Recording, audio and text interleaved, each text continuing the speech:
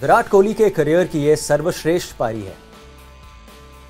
सर्वश्रेष्ठ I think one of the best ये तो ना हो सकता है क्योंकि it's played so many innings एक वन ऑफ़ द बेस्ट है और सर्वश्रेष्ठ ज़रूर है लेकिन not number one Shan Masood Bharat के लिए आउट ऑफ़ सिलेबस निकले।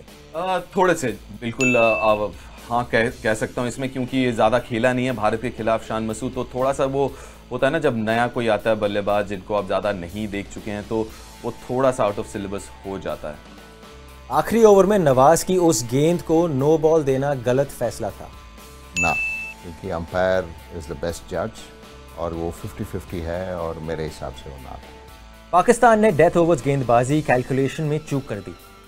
थोड़ी बहुत जी हाँ और मुश्किल ये हो जाता है कि अगर आप सिर्फ़ पाँच गेंदबाज से उतरते हैं तो फिर वो जगल करना थोड़ा सा मुश्किल हो जाता है।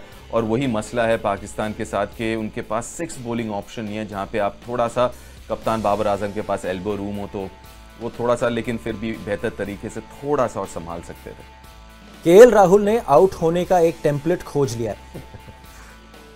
नहीं ये गलत है क्योंकि इसमें एक दो बार ऐसे आउट हुए हैं। ज़रूर उनका एंगल जो बैक का एंगल होता है, शुरू में टेंटेटिव थे।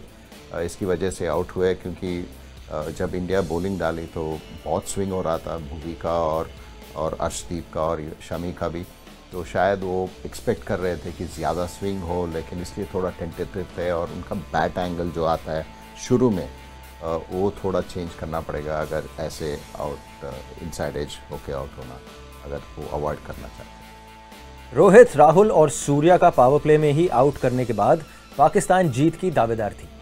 बिल्कुल इसमें कोई दो राय नहीं है। उस वक्त जब चार विकेट गिरे भारत के जल्दी तो उस वक्त तो काफ़ी आगे थी पाकिस्तान गेम में। लेकिन उसके बाद एक मास्टर क्लास ऑब्वियसली देखने को मिला। लेकिन उस वक्त में बिल्कुल सहमत हूँ आगे थी पाकिस्तान। उन्नीसवें ओवर में हारिस राव के सिर के ऊपर से कोहली का वो छक्का टूर्नामेंट का बेस्ट शॉट है। हाँ ज़रूर है। I don't think it requires any explanation from my side Dinesh Karthik को वो स्वीप शॉट की जगह सिंगल लेकर कोहली को दे देना चाहिए था। देखिए दिनेश कार्तिक की अगर स्ट्रेंथ की आप बात करें तो वो उनका स्वीप शॉट है तो नहीं मानता मैं कि उनको सिंगल लेना चाहिए था। वहाँ पे स्वीप की बॉल मिली उनको उनका काम है ये। आ, वो टीम में बतौर फिनिशर हैं।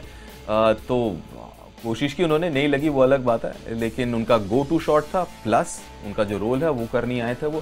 तो नहीं बिल्कुल सही किया उन्होंने कोशिश की। नहीं हुआ वो अलग बात है।